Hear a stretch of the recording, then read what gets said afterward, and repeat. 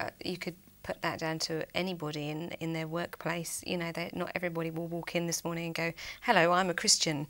You know, well, actually, I mean, you know, I mean, I think we have an expectation because they're Christian and because they're on a platform, they have to preach the gospel, and that might not be what they have to do. So I don't think it's fair to suddenly judge people to say no, I, you have to I, shout out that you're a Christian, otherwise you're not doing your job properly because that's not necessarily true either. I hope I, I didn't come across no, as saying didn't. that. It's just I know some bands who start by saying the reason we're doing this is so that we can use this as a platform to, to kind of preach from, but then never quite get around to doing that because yeah. they get sucked into the. It's all okay. Yeah, it's a case of knowing what you're what you're there for. I mean, there, there yeah. are a lot of um, people who um, who are Christians who get into the music industry and aren't, uh, you know, it is just their job. It is what they've, you know, got a heart for, and it obviously is all connected in with their faith, but isn't the sole reason for for doing what they do. Like in a sense, our sole reason for starting was because we love music and we want to say something about Christianity and about God. That was it.